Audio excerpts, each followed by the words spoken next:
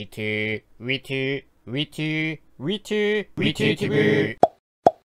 안녕하세요 위트입니다. 오늘의 2021년 마지막 업데이트가 되는 날입니다. 과연 2021년 마지막 업데이트 내용에는 무엇이 있을까요? 바로 알아보도록 하겠습니다 먼저 2주간 진행되었던 크리스마스 이벤트가 종료된다고 합니다 익스프레스는 물론 상점까지 종료되니 구매를 못하신 분들은 빨리 구매하셔야겠네요 그리고 눈꽃마을로 가는 차원열차 운행도 종료된다고 하니 소원석 보상을 못 받으신 분들은 빨리 받으시길 바랍니다. 저는 부계정 스킨을 받아야 하는 걸 까먹고 있었기 때문에 오늘 많이 해야겠네요. 다음으로 놀이미트 모드가 재오픈 된다고 합니다. 정말 오랜만에 열리는 모드인 것 같습니다. 평소에 솔플로 하드모드를 하고 싶었는데 드디어 할 수 있게 되었네요. 놀이미트 모드는 1월 27일 점검 전까지 즐길 수 있다고 합니다.